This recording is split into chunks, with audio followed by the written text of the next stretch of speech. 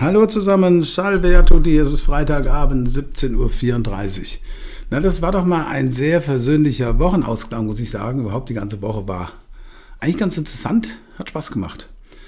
Was haben wir hier? Vor euch liegt der DAX. Ähm, grundsätzlich, ich bleibe dabei, das ist ein Rotationsmarkt.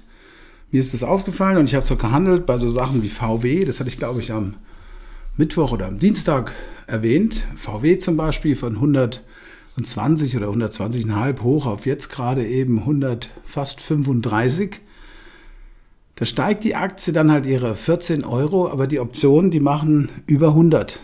Und das macht Spaß. Das ist einfach cool.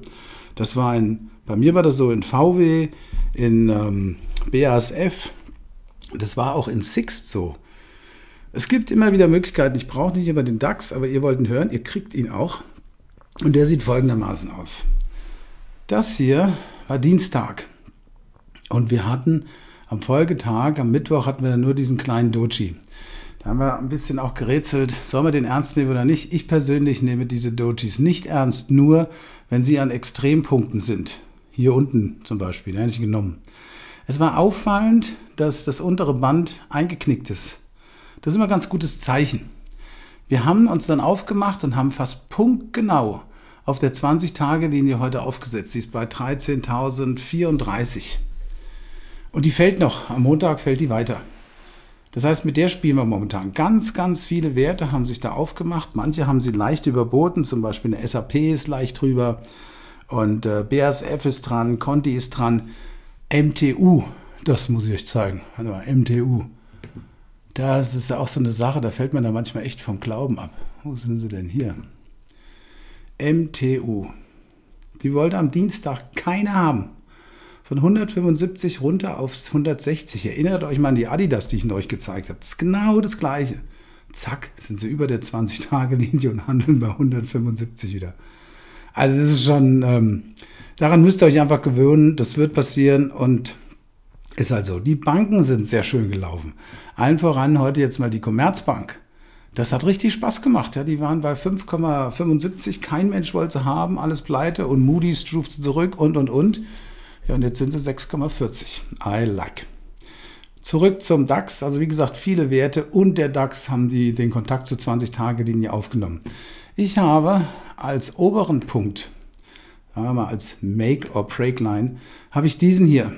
Ja, einmal, zweimal, dreimal. Da sind wir bei 13.372 nehmt es nicht auf den Punkt genau. Das verbindet sich am Montag mit eben diesem Trendkanal hier.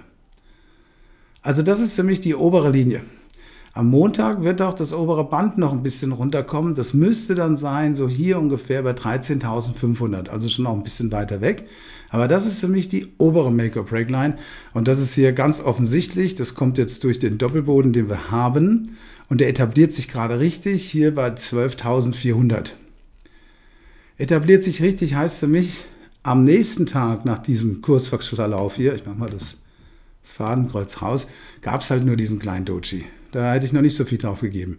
Dadurch, dass diese Kerze heute hier 1, 2, 3, 4, 5, 6 Stück überboten hat und auch dieses Gap geschlossen hat, ist es sicherer hier. Dennoch man muss nur NTV schauen, äh, jetzt nicht wegen dem armen Herrn AB, aber auch das, was Putin da für Sprüche loslässt, das ist echt verrückt. Und ähm, da kann nach wie vor was kommen. Also noch schlimmer, als es eh schon ist. Von daher, ich bin trotzdem nicht groß. Ich hatte am Mittwoch habe ich die Position bis zu 22 Prozent ausgefahren. Das hatte ich auch dann gesagt. Ich habe es jetzt heute reduziert wieder auf ungefähr 13. Ich möchte über das Wochenende nicht lang sein. Ich glaube, ich kann am Montag, wenn ich was machen will, immer noch reingehen. Hier ist echt Geduld gefragt. Und nach wie vor, es gibt ganz gute Signale, auch und insbesondere in einzelnen Aktien. Von den Bändern her, die gehen leicht zusammen.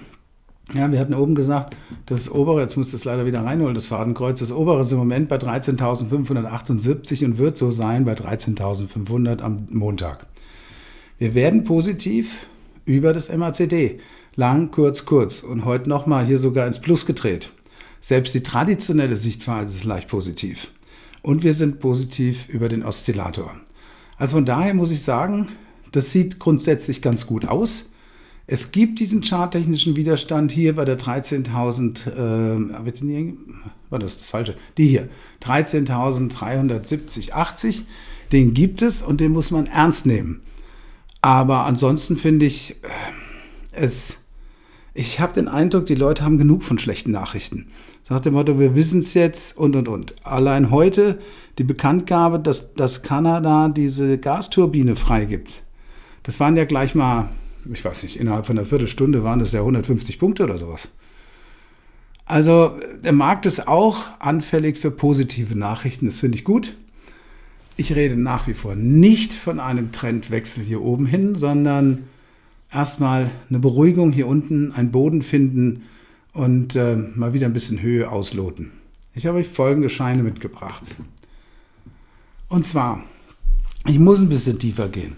12.346, da sind wir hier, wo ist er denn 346? Da sind wir noch unterhalb von dem Dienstagslow. Da drunter. Das ist dieser Schein hier mit dem Hebel momentan von 19,7. Der müsste ein bisschen runtergegangen sein, wahrscheinlich 19,2. Das ist die eine sehr schöne Kennnummer. GX33XU. Gefällt mir gut. Ähm, den kann man auch jetzt noch nehmen. Ich glaube schon, dass wir das bis nach oben ausloten. Ja?